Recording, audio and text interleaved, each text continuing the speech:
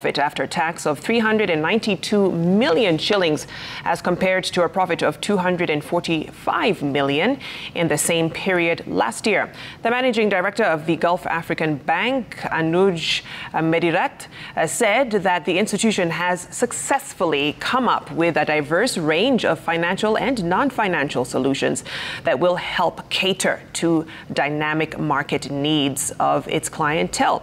While he spoke during the launch of the bank's main branch in Eastleigh, The area MP Yusuf Hassan lauded the bank for supporting growth within Eastleigh and advancing Islamic banking in the region.